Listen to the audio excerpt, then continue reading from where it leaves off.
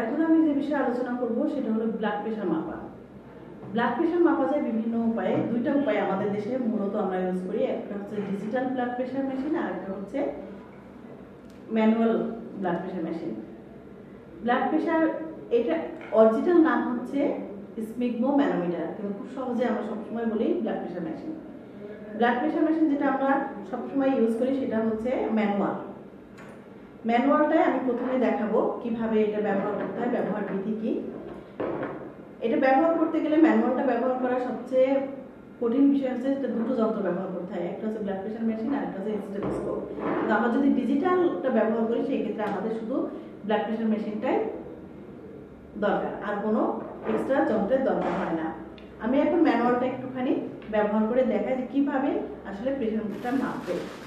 তার আগে আমি বলি যে ব্লাড প্রেশার মাপার আগে আমি ম্যানুয়াল ব্লাড প্রেশার মেশিনের অংশগুলো কি কি? এটাকে আমরা বলছি কাপ এটা দুটো টিউব এটা আমাদের ব্লাড প্রেশার রেগুলেটর যেটা মনিটর আমরা বলি। আর এটা হচ্ছে আমাদের পাম্প দেওয়ার জন্য পাম্প এবং এটা রেগুলেটর এবং সেই সঙ্গে আমরা যে ইউজ করব সেটা হচ্ছে স্টেথোস্কোপ এটা আমাদের স্টেথোস্কোপ আমি এখন দেখাচ্ছি যে কীভাবে আমি যন্ত্রটা ব্যবহার করব।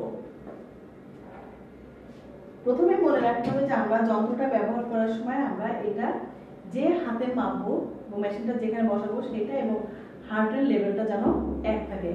শোয়া থাকলে আমরা ওইভাবে আমরা এটা মনিটর করব। যদি এক না থাকে, সেক্ষেত্রে আমাদের ব্লাড প্রেশারের যে তথ্যটা আসবে, সেটা ভিন্ন হতে পারে। আমরা প্রথমে কাপটা বাম হাতে কিংবা ডান হাতে যে হাতে বাঁধি না কেন, আমরা একটু শক্ত করে বাঁধবো। তারপরে এই যে মনিটরটা এটা আমরা এই যে হার্ট বরাবর রাখার জন্য পিছন দিকে একটা কাউন্ট আছে আমরা উপরে আটকে রাখব।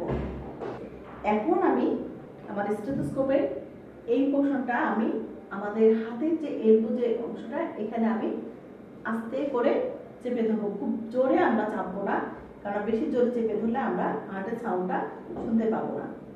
এরপরে আমরা এই যে রেগুলেটরটা দিয়ে এটা আমরা অফ করব ক্লোজ করার পরে আমি এই প্রেশারটা চেপে উঠাবো।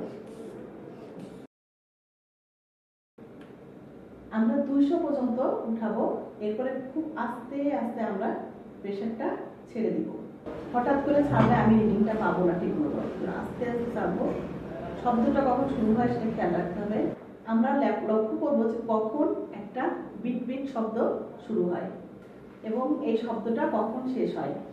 আমি ওনার ক্ষেত্রে দেখলাম একশো বিশে শুরু হয়েছে এবং আশিতে শেষ হয়েছে। তার এখানে আমার হলো যে এক ওনার সিস্টোলিক প্রেশার একশো বিশ এবং ডায়াস্টোলিক প্রেশার আশি। ডিজিটাল মেশিনে এই অংশটা মনিটর এটা কাপ একই রকমের। এটা দেখেন আমরা এই অংশটা আমরা উপরের দিকে রাখব। যেটা কর যেটা আছে, সেটা আমরা উপরের দিকে রাখব। রেখে আমরা হাতে বাঁধবো। একটু খেয়াল করি, আমরা এটার ভিতর দিয়ে এই অংশটা ঢুকিয়ে বেঁধে এটা আস্তে করে এখানে আটকে দিলাম। এটা অটোমেটিক্যালি আটকে যাবে। আটকানোর পরে এখন আমার এই মেশিনের মনিটরে আমি দেখতে পাচ্ছি এখানে স্টার্ট বাটন আছে। এই স্টার্ট বোতামটা আমি চাপ দিব।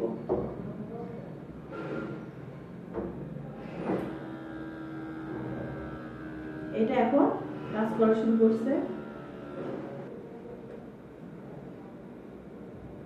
এখান থেকে দেখা গেল যে আমাদের সিস্টোলিক প্রেশার একশো আট এবং ডায়াস্টোলিক প্রেশার পঁচাত্তর। মানে digital analogue blood pressure machine ব্যবহার করতে কিছু পার্থক্য আছে। ডিজিটাল ব্লাড প্রেশার মেশিন ব্যবহার করতে গেলে আসলে নিজস্ব দক্ষতা কম। আমরা শুধুমাত্র কাপটা ঠিক মতো বাঁধতে পারলে এবং মনিটরটা ঠিক মতো পড়তে পারলে আমরা সঠিক ব্লাড প্রেশারটা কত এটা আমরা বলতে পারব। কিন্তু অ্যানালগ মেশিনটা আমাদের চালাতে গেলে যেটা লাগবে, নিজের দুইটা দক্ষতা থাকা লাগবে। একটা হচ্ছে আমাদের এই রেগুলেটর রেগুলেটর আমাদের কন্ট্রোল করে প্রেশারটা উঠানো এবং আস্তে করে এটাকে রিলিজ করা, যেটা ছাড়া বলি, ছাড়তে ছাড়তে আমাদের দক্ষতা থাকতে হবে। আর দ্বিতীয় দক্ষতাটা হলো যে আমাদের হার্টের সাউন্ডটা শোনা। হার্টের সাউন্ড কখন শুরু হলো এবং কখন শেষ হলো, এই দুইটা রিডিং আমাদের এই মনিটর থেকে আমাদের সঠিকভাবে নেওয়া। তো তথ্য প্রদানে যদি তার ব্লাড প্রেশার নিয়ে যদি খুব বেশি ব্লাড প্রেশার যেমন সিস্টোলিক ব্লাড প্রেশার একশো পঞ্চাশের বেশি কিংবা ডায়াস্টোলিক ব্লাড প্রেশার একশোর বেশি, তখন সেই ক্ষেত্রে নিজে কোনো দায়িত্ব না নিয়ে নিকটস্থ কোনো স্বাস্থ্যকেন্দ্র কিংবা কোনো অভিজ্ঞ মানে দক্ষ ডাক্তারের কাছে রেফার করাই আমার মনে হয় যুক্তিসঙ্গত।